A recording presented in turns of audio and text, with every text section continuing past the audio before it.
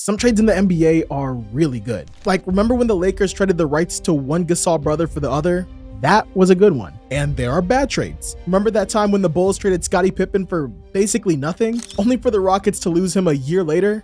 Both teams kind of lost there. And then there are trades that give you that thousand yard stare. Like, what happened here? Well, guess what? The last decade was full of these trades, and we need to talk about it. From teams trading away their future to bad doctor's examinations that lead to NBA titles, here are the worst trades of the 2010s.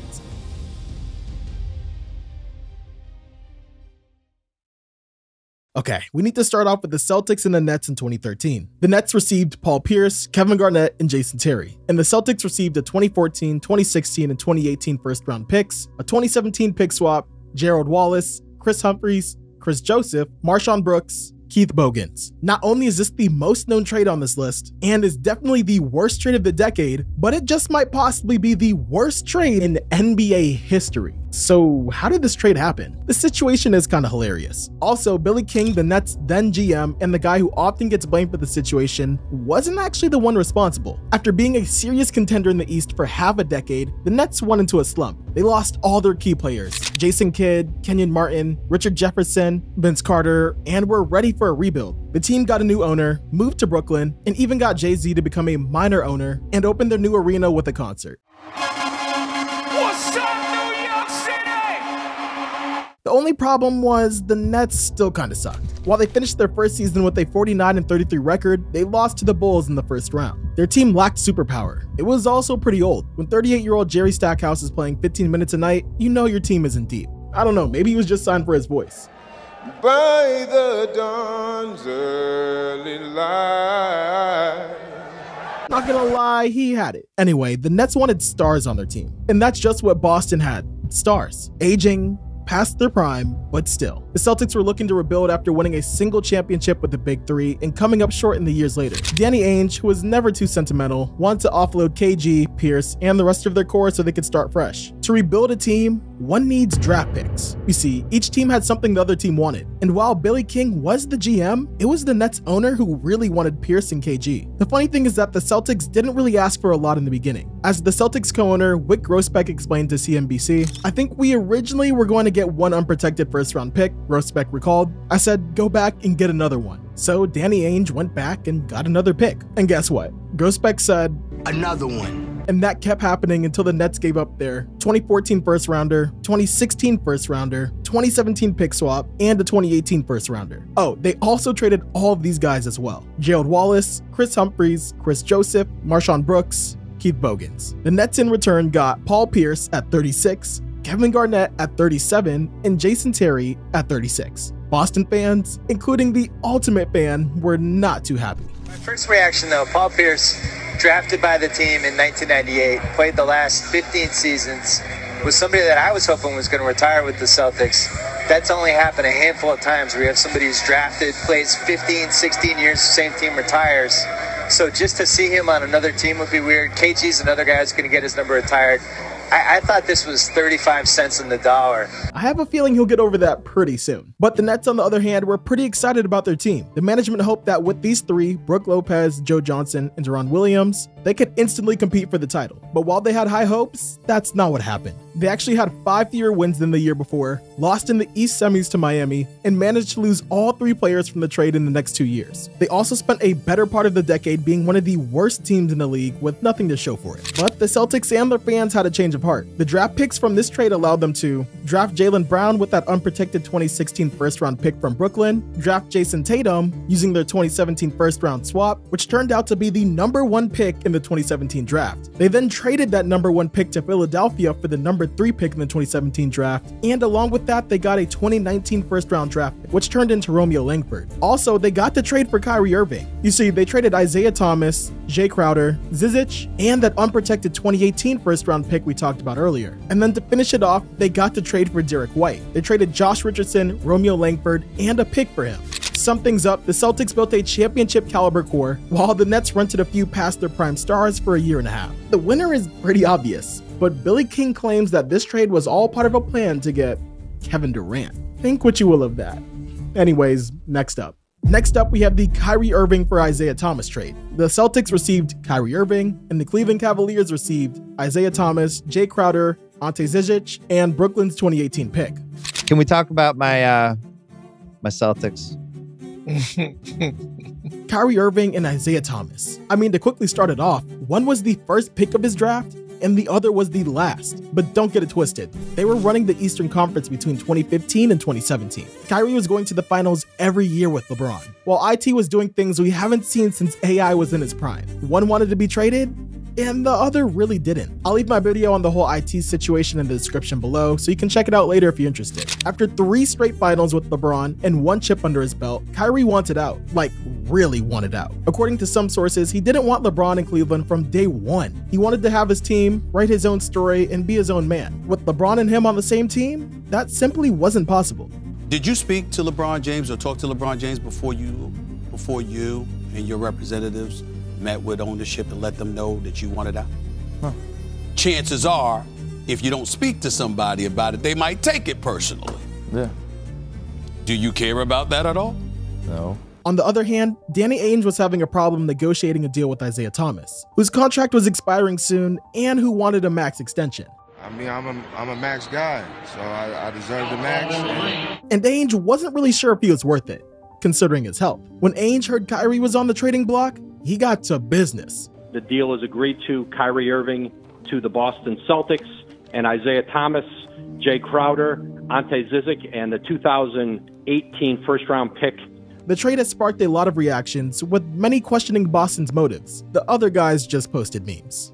Yeah, that's NBA Twitter for you. Not sure how many people remember this, but Boston did seem like they won this trade by a landslide. While they did lose the first two games of the season and had their second star Hayward suffer a massive injury, the Celtics then went on a 16 game winning streak. They were looking like the team that would finally snap LeBron's final streak. Kyrie also improved defensively and seemingly became a leader for the young team. He was playing the best basketball of his career, averaging 25 points, 4 rebounds, and 5 assists in less than 30 minutes on the floor. For the Cavs, the trade was seen as a gamble due to Thomas's hip injury and impending free agency. IT missed a good deal of games too due to surgery. But the same thing happened to the Celtics, with Kyrie suffering an injury later in the year and having to miss the playoffs. When you're Kyrie and you say, I want to leave LeBron James and go be the man somewhere, he's had an excellent season. The Celtics had an excellent season, but he wasn't able to make it through the season. However, things still went well for Boston.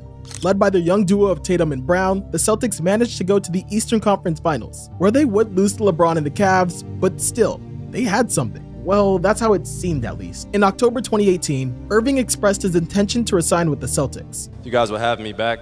I plan on resigning here next year. Boom!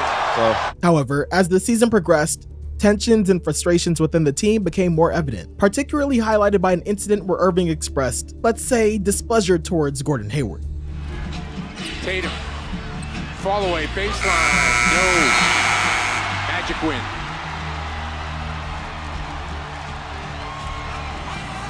The internal dynamics, combined with Kyrie's personal reflections following his grandfather's passing, led to a change in his stance by February 2019. What went through your mind when you just heard Kyrie? That Kyrie's gone.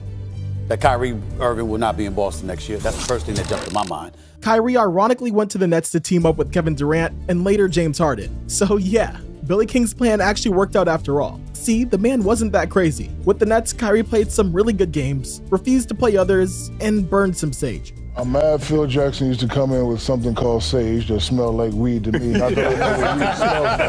But on the Cavaliers side, numerous other players have been acquired through subsequent trades involving the original assets from the Kyrie Irving deal. Let's go over them. First, we have Collin Sexton, who came from the 2018 pick that Cleveland acquired in the Kyrie Irving trade. They also got Larry Nance Jr. and Jordan Clarkson, which came to the Cavaliers from the Lakers in exchange for Isaiah Thomas, Channing Frye, and a 2018 first round pick. And then there was Rodney Hood, part of a three team deal that resulted in Hood and George Hill joining the Cavaliers. Sacramento got Iman Shumpert and a second round pick, and to Utah, they got Jae Crowder, Derrick Rose, and some second round pick swaps. Essentially, the Cavaliers transformed Jae Crowder, acquired in the Kyrie Irving trade, into Rodney Hood through these transactions. I guess the Cavs won in the long term.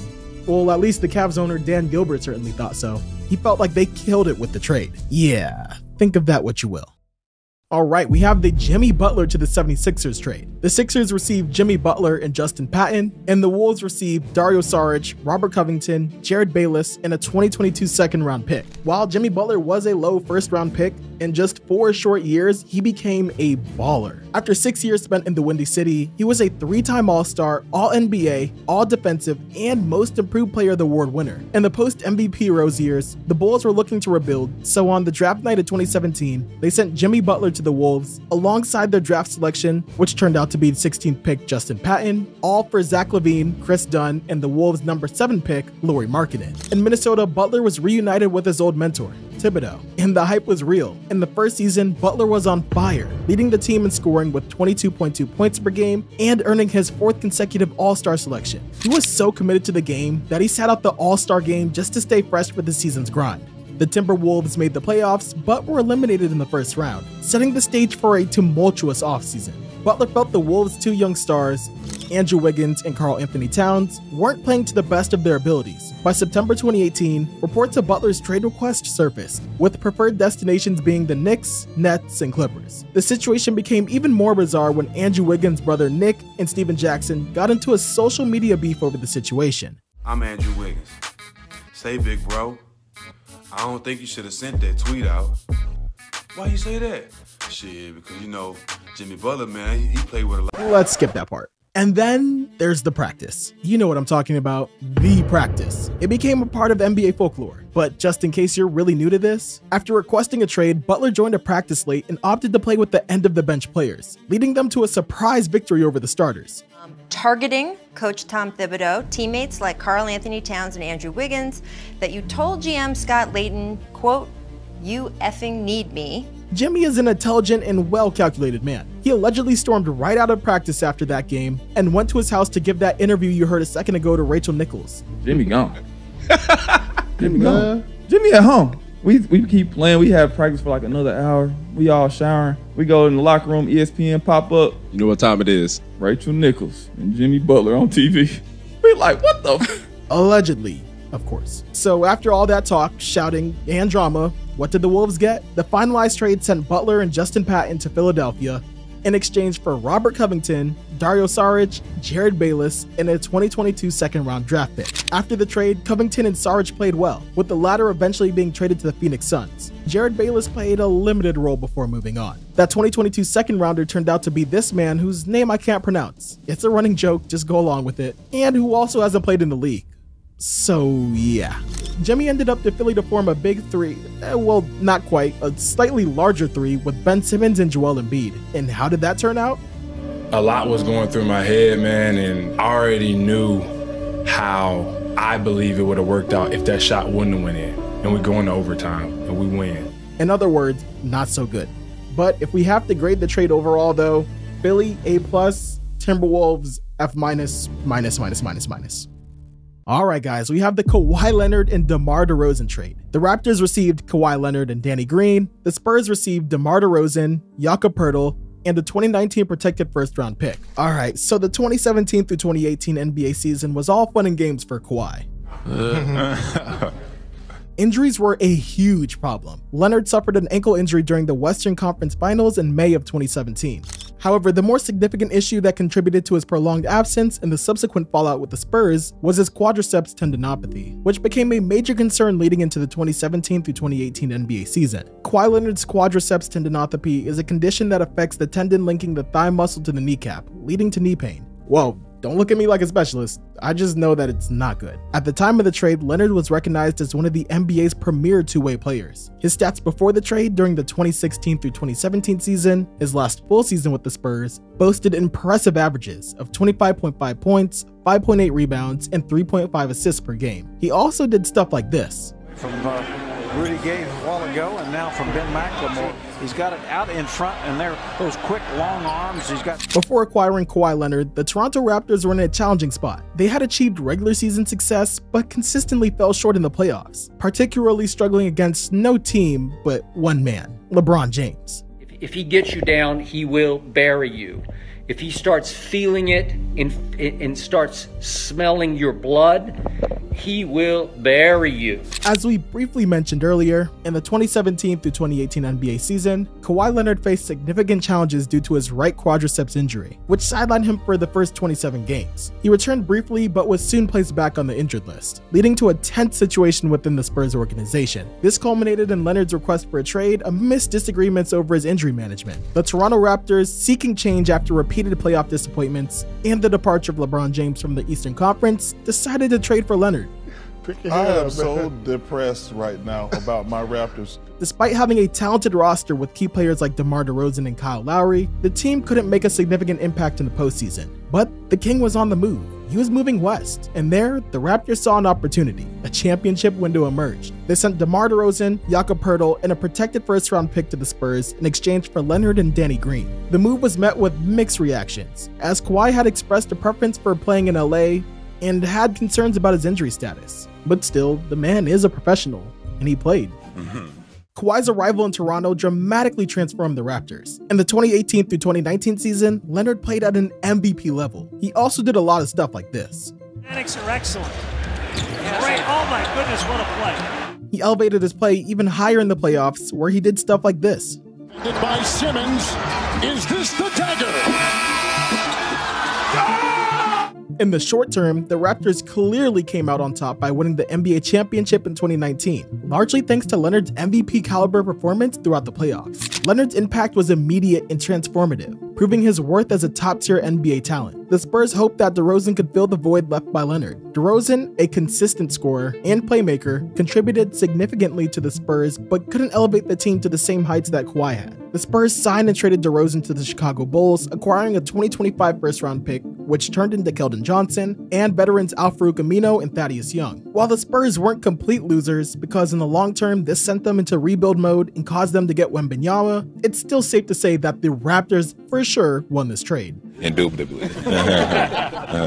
All right, that last one was a doozy. But this next one, we have the Chris Paul to Clippers trade in 2011. The Clippers received Chris Paul and two second round picks. The Hornets became Pelicans in the 2013 season, received Eric Gordon, Al-Farouq Aminu, Chris Kaman, and Minnesota's 2012 unprotected first round pick. CP3 is a familiar face in my videos. And here's another story about him. After six seasons with the Hornets, Paul asked for a trade, partially because of concerns about the team's future, and partially because of potential relocation talks. As some of you may recall, New Orleans was stuck in limbo, being owned by the NBA League and looking for a new owner. And as you may remember, CP3 was almost traded to the Los Angeles Lakers in a deal that would have paired him with Kobe Bryant. However, NBA Commissioner David Stern vetoed the trade, citing basketball reasons and the league's ownership of the Hornets at the time. I said that New Orleans would not make the trade uh, that had been proposed to them. And was that the right move to make?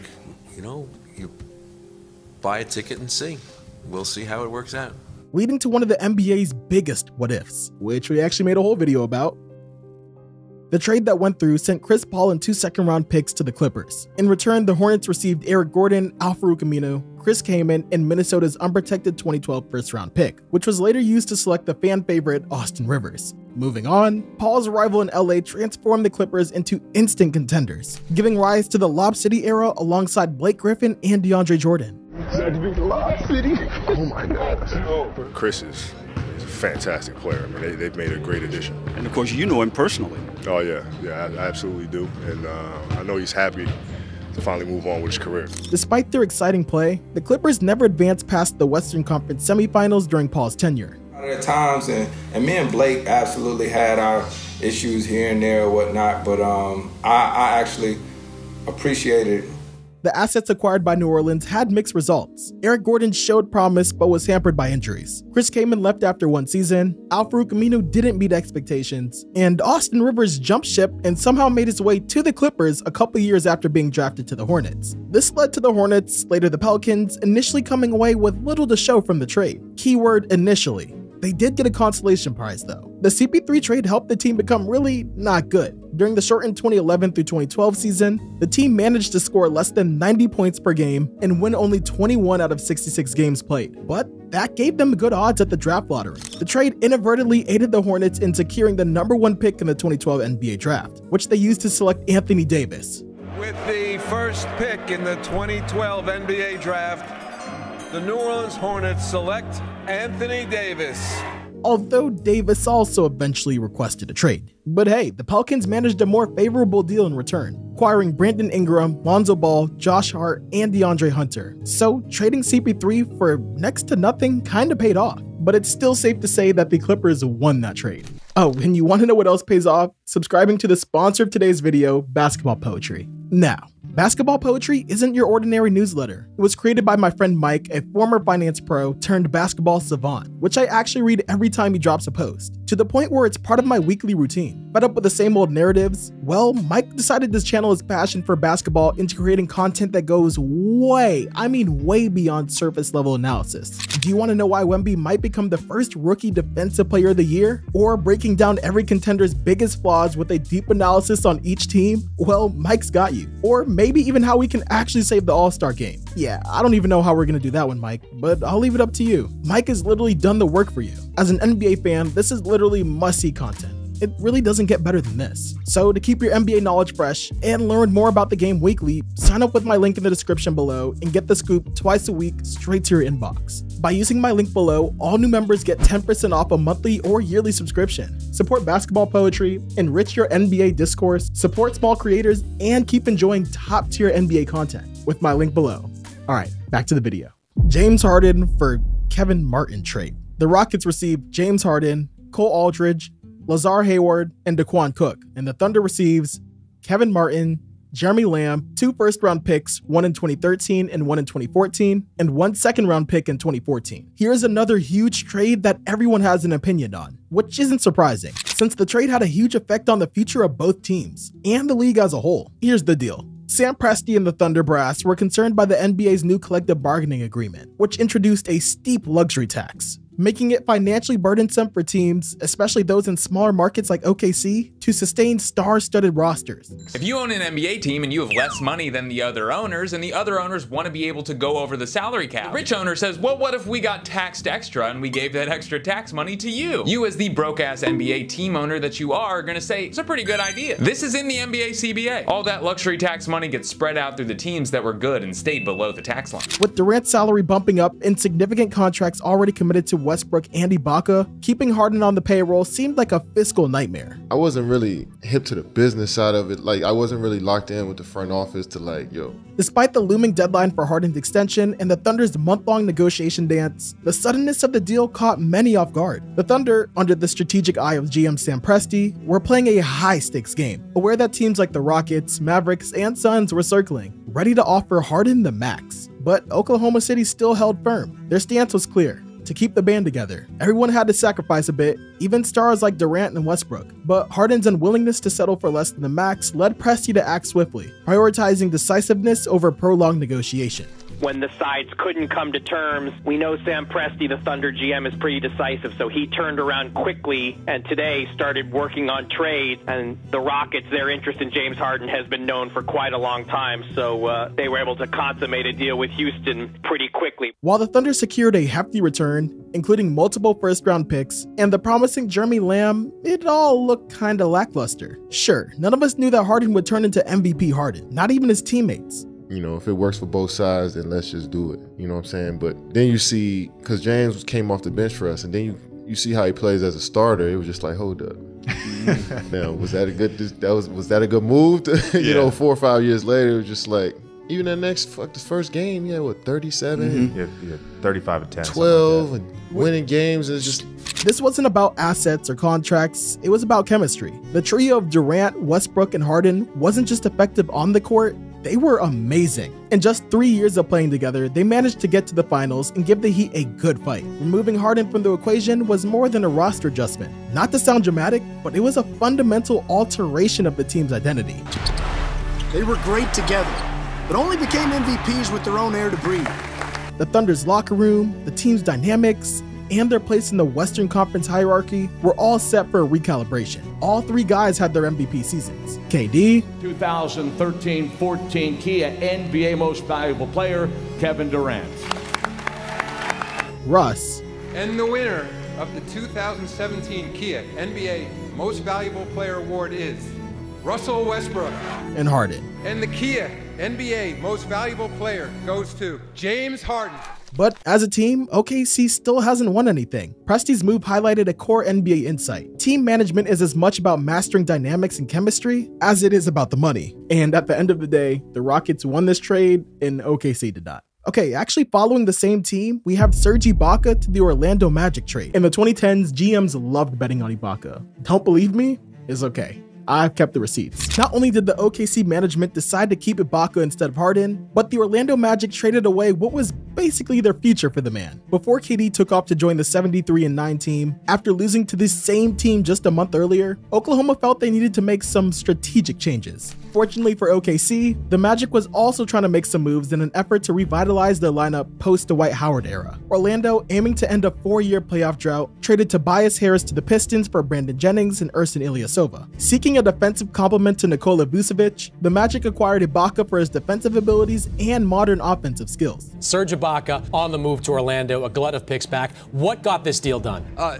Chris, in the last, really here in the last week, Oklahoma City made a decision uh, to explore the market, see what they could get as a return for Serge Ibaka. The trade looked kind of lopsided off the jump. OKC got Victor Oladipo, Ersan Ilyasova, and the rights to Domantas Sabonis, who was the 11th overall pick in the 2016 NBA draft. Oladipo, who was selected second overall by the Orlando Magic in the 2013 draft, was a key piece in the trade.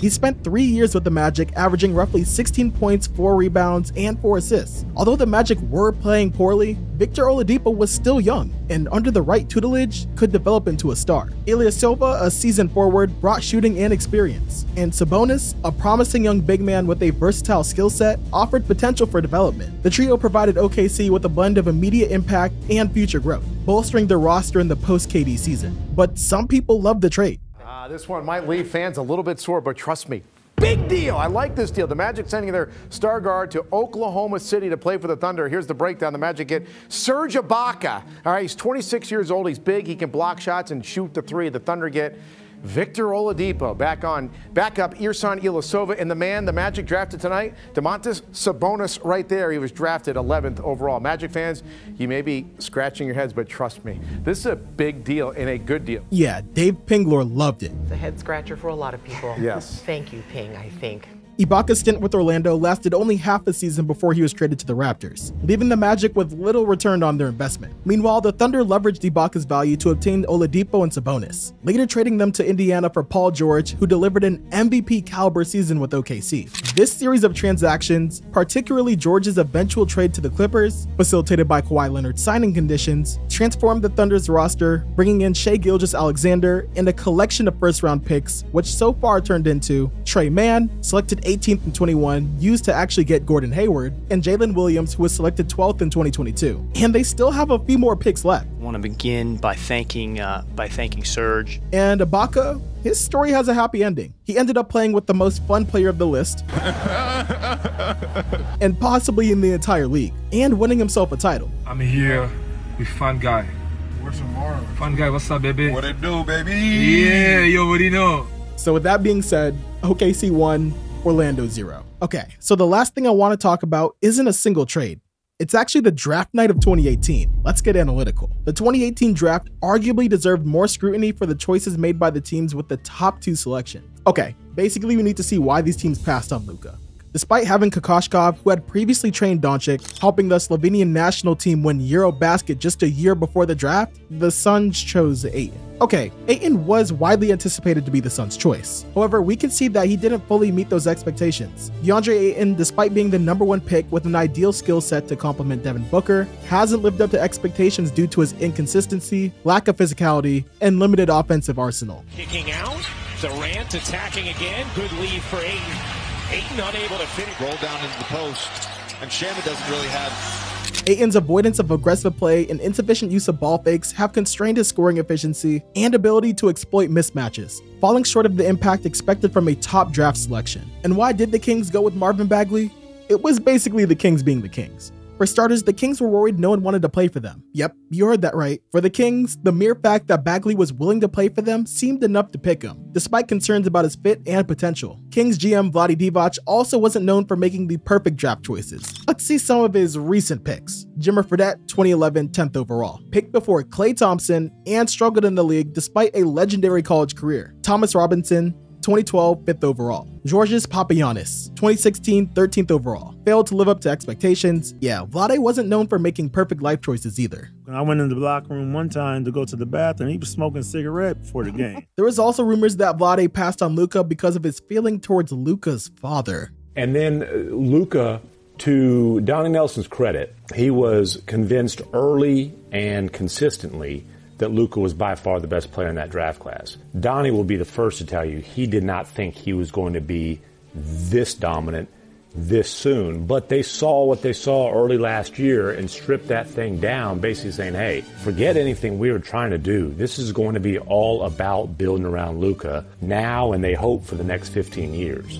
Yeah, so Atlanta selected Luka with the third pick. The Mavericks are closing in on a trade for Luka Doncic, according to leak sources. But they traded him almost immediately to the Mavericks for Trae Young and a future first round pick. A lot of people like this trade immediately. The Atlanta Hawks and Dallas Mavericks have agreed in principle to a deal that would send the third pick in the draft from Atlanta to Dallas for the fifth pick and a future first round pick from Dallas to Atlanta. Trae Young will go from the Dallas Mavericks at five to the Atlanta Hawks at three but many would agree this wasn't such a great trade, just a few years after the trade. Given Luka's immediate impact, Dallas sent only the 10th pick to Atlanta, which was used to select Cam Reddish. The component of the trade later seemed insufficient, given the trajectories of the players involved. Both teams reached their respective conference finals during the rookie contracts of the traded players, leading to long discussions about the trade being a win-win. However, the long-term value and impact of the players involved suggest a more complex assessment. I'll give you one reason the why the, the Hawks were thinking along those lines. Steph Curry.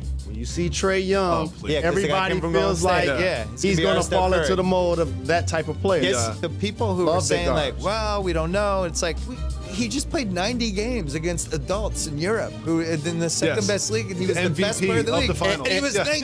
Yeah. What are you guys talking about? Right. Yeah. Why do we play basketball? But, but Trae Young had a good start to the, the college well, season last gonna, year. Luka's trade value is considered amongst the highest in the league when factoring in his quality, age, and contract length, whereas Trae's value might just cover the investment made for Dejounte Murray, raising questions about the true winner of the trade. Oh, and I gotta talk about Mikal Bridges. Mikal was a Philly boy who grew up a 76ers fan and ended up playing for the local Villanova. In 2018, he entered the draft and looked like an ideal piece to complement Embiid and Simmons. His mom even worked for the Sixers.